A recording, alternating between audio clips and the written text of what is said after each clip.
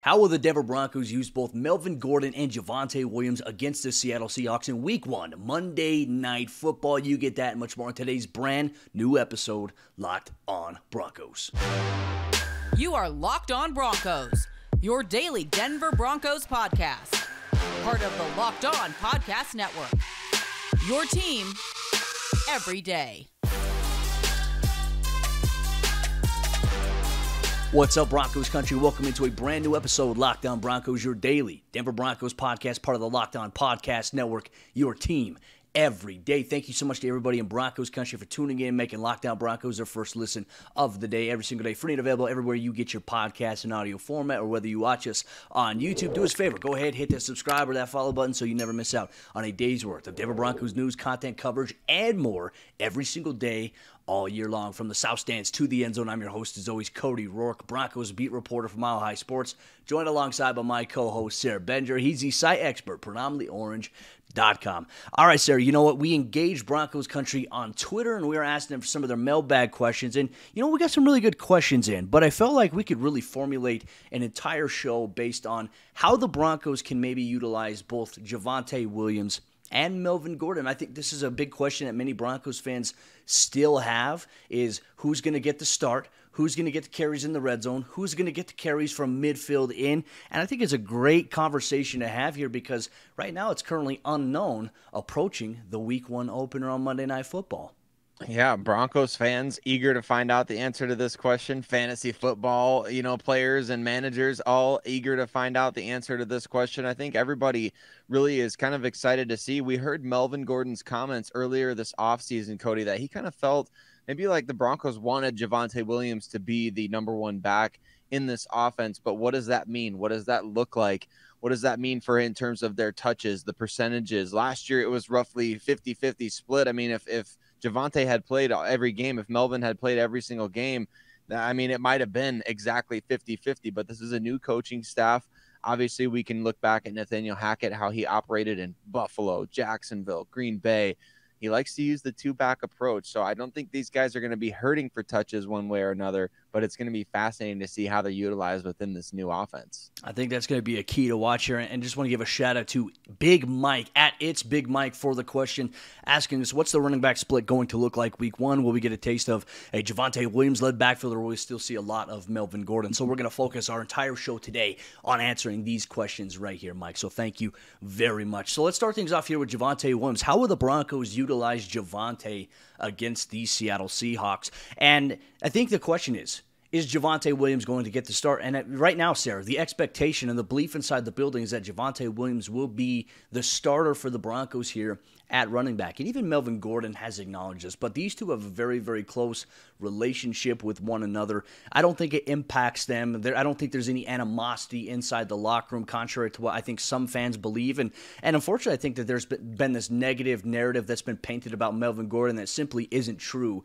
So I hope we can address that along this season here for Broncos country. But Williams will get the start for the Broncos on Monday Night Football. Is expected to see the first carry. But outside of that, I, I think the expectation is that in this offense here with Russell Wilson, with obviously Justin Outten up in the box, with Nathaniel Hackett calling plays, is probably going to see a heavy dose. I don't know if they're going to do a series to series, but I think a heavy dose of Javonte Williams will be dialed up a little bit, especially from when we talk about the 20 in to once you get to midfield, what's the rotation going to look like? I mean, how often are the Broncos going to spell Javonte Williams for Melvin Gordon and vice versa? Are they going to have that 50 50 split? I think right now the expectation is heavy dosage of Javonte Williams, which I think makes a lot of people in Broncos country really, really happy. But I know there's another dynamic that you want to see Javonte Williams presented with when he's thrown into the mix for this Denver Broncos team on Monday. That's right. I'm excited to see more of Javonte Williams in the passing game. And I know we got to see plenty of that last year, quite a bit of it. He's obviously very good as a pass protector, he's very good as a receiver. But I really want to see more of Javonte Williams out in space. I think that one of the things that we had called for a lot on last year's show was a little bit more involvement from the backs in the passing game in terms of hey where's the screen game? You know are, are the broncos going to start executing the the the running back screen game at, at, all? I mean we never really got to see that with pat shurmur's offense. I wonder if we will get to see it with nathaniel hackett's offense. And for javonte williams that means that you're really highlighting and amplifying arguably his best trait and maybe not even it's it may not even be arguable cody just his ability to break tackles in the open field to make guys miss or, or just run over guys you know he just flat out carry defenders down the field just ask the baltimore ravens about that but Javonte Williams, that's his best skill. And so it's not just about, okay, well, in the in the flow of a game, can he go out there and, and win between the tackles? Can he be a great runner between the tackles? Can he break off a big run off tackle? Or I think you really got to make sure you get him involved intentionally in the passing game to make sure that you're getting him the opportunity to do what he does best, which is make people miss in space, not just with elusiveness, but with his explosiveness, with his tackle breaking ability, his his ability in the open field to just kind of see those extra yardage and, and really go after it and get it. I mean, he can do those kinds of things. So seeing that involvement from him in the passing game, I think is going to be. First of all, I think it's going to be a lot of fun to watch, and second of all, I think it's just smart on the part of the Broncos offensive staff to really get him involved. That can just help your offense. Like you said, between the 20s, that's going to be a thing where I think if your offense is stagnant, get the ball to Javonte Williams in space and let him work. Well, and I don't think it's like a, an unknown either, right? I think that if George Paton's coaching staff, which they have done, they went to the film. Remember the game against the Chargers last year at home where Teddy Bridgewater dumped it out into the flat for Javonte Williams? He made a defender miss, got skinny up the sideline, tiptoed up the sideline, cut back inside for about a 44, 45 yard gain as a receiver. I mean, he's a hard guy to bring down. I would hate to be in the one on one open field against him because he's either going to run you over or he could make you miss. I think he's very deceptive in his ability to make guys miss. Not a lot of people talk about that when it comes to Javonte Williams. So I would love to see Javonte or Pookie get involved in the passing game a little bit more, especially if defense is really focused on taking away the receivers and you have a, a heavy blitz team. Well, you know what? How do you counteract the blitz? You dump it off to your tailback quick in the flat and you let him make a move in space. I think they can do that. Not only can they do it with Javonte, but they can do that with another running back, maybe even two running backs that are on this roster. We're going to talk about coming up here in just a moment how the Broncos may utilize Melvin Gordon against the Seattle Seahawks in the Week One Monday Night Football opener to kick off the NFL regular season. But before we do that, let me tell you about the sponsor of today's episode of the show. It's good friends over there at Prize Picks. And Prize Picks means that daily fantasy sports is done right. Now, they have player projections on almost every single player in the National Football League, and not to mention other sports as well. You can just choose and look at the projections going into a week one regular season matchup. Will this player get more or will they get less than what their prize picks projections project for them to get there? So, how does it work? You get to pick two to five players, and if they will go score more or less than their prize picks projection, you can win up to 10 times your money on any entry. There's no competing against other people. It's just you versus the projections that are available. Entries can be made in 60 seconds or less. It's that easy. They're safe and fast withdrawals, and they're currently operational in over 30 states and Canada. So, what you can do is you can download the Prize Picks app or go to prizepicks.com to sign up and play daily fantasy sports. First time users can receive a 100% instant deposit match of up to $100 with promo code locked on. So, if you deposit $100, Prize Picks will give you $100. If you deposit 50. Prize Picks will give you $50. Don't forget to enter promo code locked on at sign up for an instant deposit match of up to $100. How might the Denver Broncos utilize Melvin Gordon in this offense here in 2022? Well, we have the season opener with the Seattle Seahawks coming up on Monday Night Football to kick off week one of the NFL action. Thank you so much, everybody in Broncos country, for tuning in and making Locked On Broncos your first listen of the day every single day in your favorite podcast and platform, whether you watch us on YouTube. We appreciate you so much for tuning in to the show. We talked about Javonte Williams and really how the expectation in this offense is he's going to be the primary back. There's going to be a lot of things that are going to be designed offensively for Javonte to be the feature guy, the guy that's going to be in the premier spotlight, I feel like, this season. And that leaves kind of the veteran kind of under the radar, very reliable option in Melvin Gordon, kind of on the outside looking in, I think perception wise, but He's also going to have a big role in this offense for the Broncos this season. Now, I think the expectation is that when the Broncos get into short yardage situations, we're talking like third downs, uh, you know, even at midfield in the red zone. Don't be surprised if we see Melvin Gordon because, Sayre, where has Melvin thrived as a rusher for this Broncos team? I think anywhere you get close to midfield and you get into the red zone, or as Nathaniel Hackett likes to call it, the gold zone, he's been efficient. I mean, six red zone touchdowns last year for the Broncos. I, I think that this is where we'll see him. He's not going to be the primary back, but his role is still going to be just as important and just as big.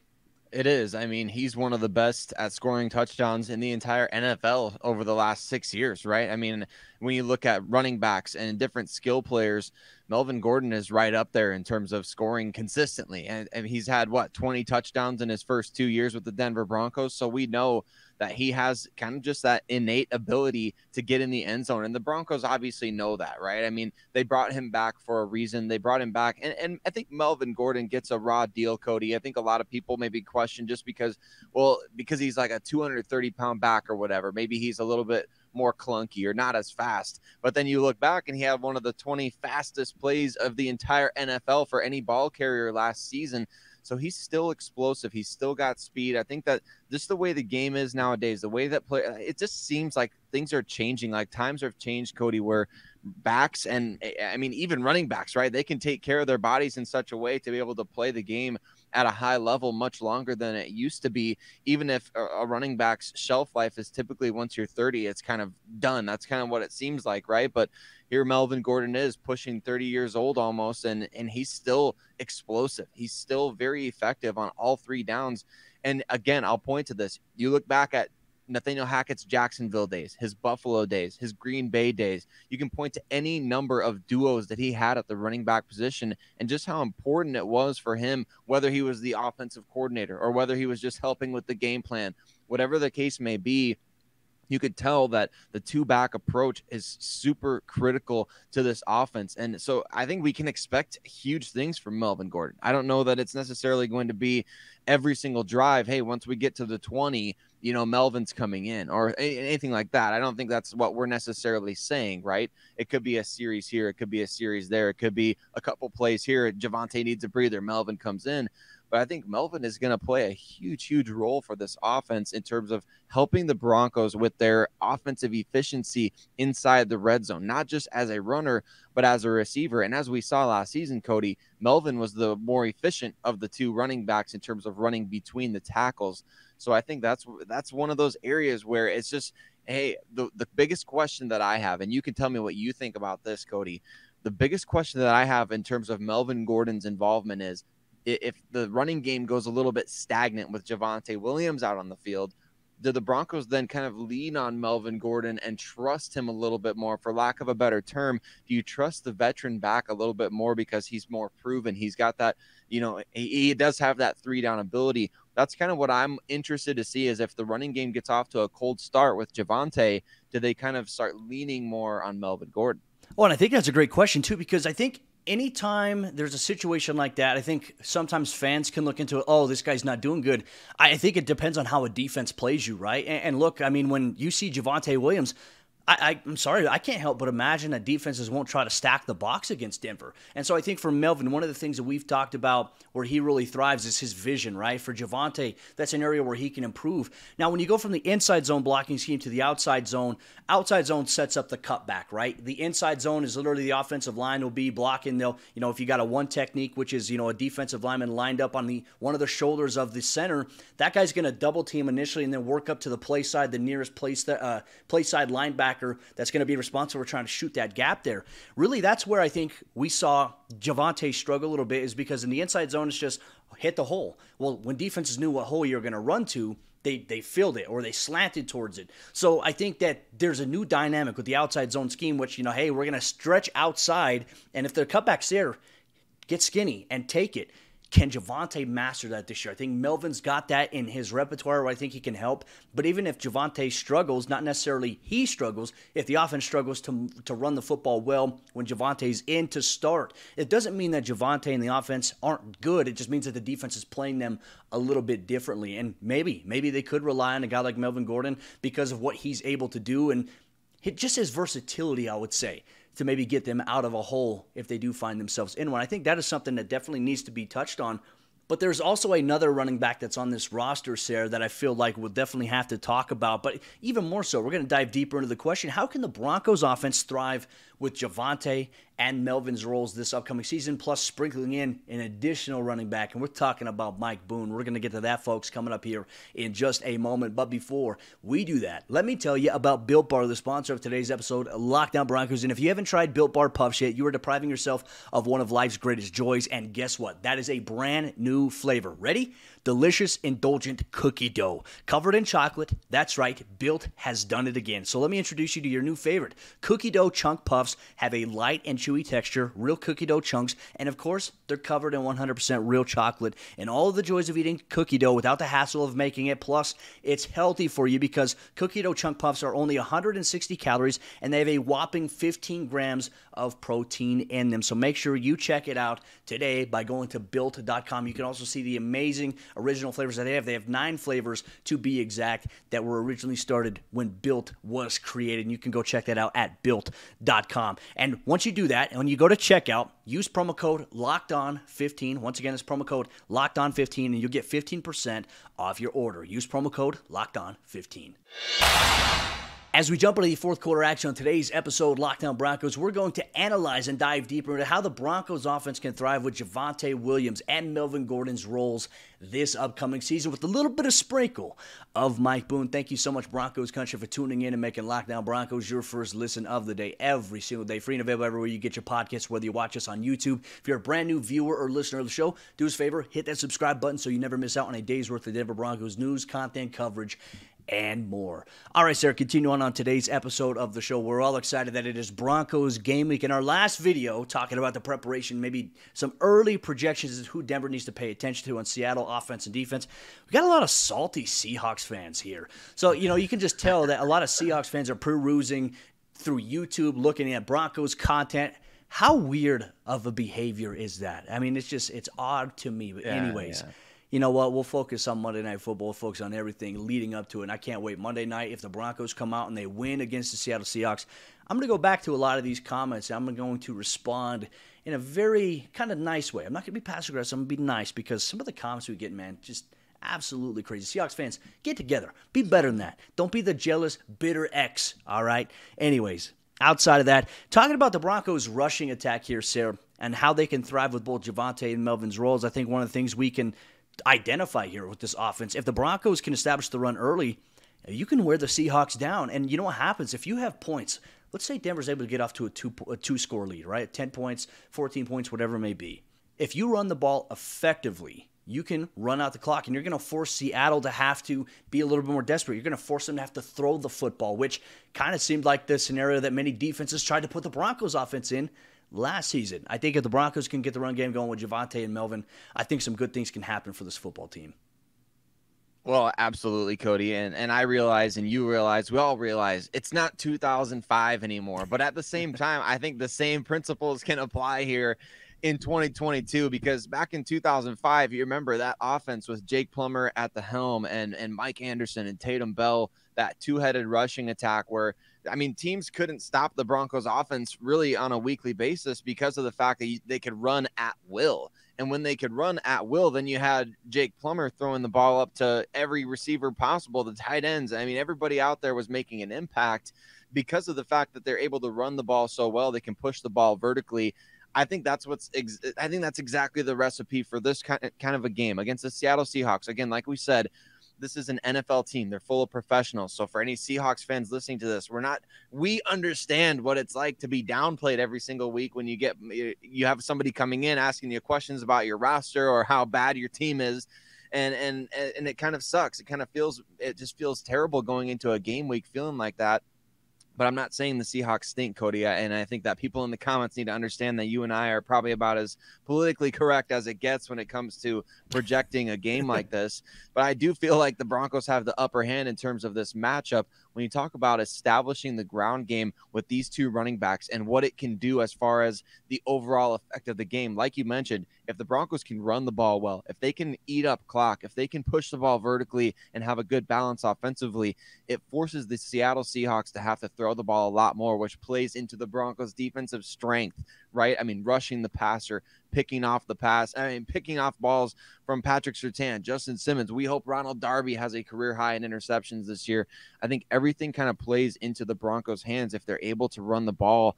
That's exactly what I think they're going to do, Cody, with Javonte and Melvin just wearing down the the Seattle Seahawks defense. I mean, again, it's a, a lot of young players on that defensive side, a lot of talent, but a lot of young players for Seattle and a, a Broncos offense that has two backs that are ready and chomping at the bit to go eat. Well, I think the biggest question too that we have right now is what will the balance look like between the run and the pass? Like will the Broncos be 50-50 run pass? Will it be 75-25 pass run? I mean, that's something we have no answers to. But kind of going into this offense, as you mentioned, going back to what Nathaniel Hackett loves the most, like envisioning, he said the Mike Shanahan style of offense to, you know, with the John Elway's, the deep balls to Eddie McCaffrey and Rod Smith and those guys, you know, pounding the rock with Terrell Davis, the way that he mentioned when he was hired by the Broncos to be their next head coach for me, if you get this offense rolling with these two running backs where you're just pounding it down the throats of the Seattle Seahawks, you're going to get them to tighten up a little bit, which a lot their secondary is going to have to play back, which means that play action. Here you go. This is where you can really attack and exploit any defense, not just the Seahawks defense, any defense in the National Football League. And having a very good balanced rushing attack makes it very hard for opposing defenses to find balance and solidarity within themselves. And it's very, very tough to adjust to that. And I think that's where the advantage could play into Denver if they do, in fact, have success run the ball. What about Mike Boone, though, Sayre? I mean, he's a guy that thrived in the preseason, was a guy that was hard to bring down, was a guy that was just making everybody miss. But he also offers some value as well, not just as a rusher, but also as a pass catcher out of the backfield. So I think a big question that is unknown. We talk so much about Melvin and Javonte should we also be including Mike Boone? Uh, if we're talking about like a you know hundred splits, are we going to go seventy five Javonte, twenty five to you know Melvin, or if we're going to add three other guys into it? Is it going to be 50, 25, 25 with these guys? I have no idea, but I think that with Mike Boone's role on special teams, he could be a secret weapon that maybe Nathaniel Hackett unleashes, maybe not in week one, but maybe at some point down the road. Oh, he for sure. I think absolutely, Cody. Uh, if after what we saw in the preseason, I, I wonder if there's anybody on offense besides Montrell Washington and Mike Boone that really earned the opportunity for more touches in the regular season mix. Certainly, we'll see them hand the ball to guys like Montrell, and hopefully Jerry Jeudy After all of it, wouldn't that be kind of ironic? The first game of the year, they hand the ball to Jerry Jeudy on one of those reverse plays or whatever. KJ Hamler, that would be that would be funny. I mean, that would be kind of an homage to know, like, hey, they watched last year's film. They're making a little bit of a joke here. Uh, at least for me, it would be. That would be but a middle finger to Mike Pat Boone, Shurmur. Yes, right. And maybe he maybe he kind of needs that. Who knows? I, I, but with Mike Boone, I can already see the tweets coming in, Cody. I, I feel like Mike Boone is going to get a couple touches, and then everybody on Twitter is going to be like, Mike Boone needs more involvement in the offense. Mike Boone needs to be running back too. Oh, I can oh, already yeah. see it happening because I, I just I know that it's gonna it's gonna be what it is because Mike Boone I think is going to maximize the touches that he's given and and I think he's going to be one of those players like for the Broncos. I'm trying to think back to if they had anybody now that my brain is on 2005 cody i'm trying to think back to if they had somebody on the roster who was kind of like that. But i think there's definitely going to be an opportunity for him to go out there and be that guy that everybody's like i want to see more of mike boone. I want to see more of this guy because he's going to go out there and whether it's the passing game the running or the the running game the kickoff return game he's going to maximize his touches. He's going to show that and he brings a different element to this offense. Even though I mentioned that Melvin Gordon hasn't lost, you know, a lot of speed or explosiveness, I think Mike Boone has a different gear to him when you're talking about that vert that long speed down the field. And so I think when he comes out onto the field, we're going to see that and fans are going to be all about it. So to me, Cody, Mike Boone is going to be one of those guys that fans are going to be clamoring for more of every single week. Every time he touches the ball, everybody's going to be saying, get Mike Boone the ball more, make Mike Boone running back too. I can already see it oh, happening. No. I could see it too. And the moment you said, it, I was like, "Yep, I can definitely see that happening." Especially, you know, I think if you have three good backs, it's good. It's not like the quarterback analogy where they say if you have two quarterbacks, you have none. I think if you have three running backs, you have a ton. So we're going to make that a little bit of a popular mantra to say this upcoming season. But Broncos country, thank you so much for tuning in and making Locked On Broncos your first listen of the day every single day. What you can expect throughout the rest of this week, we'll have crossover Thursday with Corbin Smith, host of the Locked On Seahawks podcast, breaking down the biggest story for each team, looking at key matchups to identify, and also talking about maybe some outcomes, what can influence the outcome of the game. You'll get that on Thursday's episode, Locked On Broncos. But we're going to have more build up for you as the Broncos get back on the practice field this week in preparation for Monday's game against the Seattle Seahawks. Make sure you tune into Locked On Broncos so you never miss out on a day's worth of Denver Broncos news, content coverage, and more.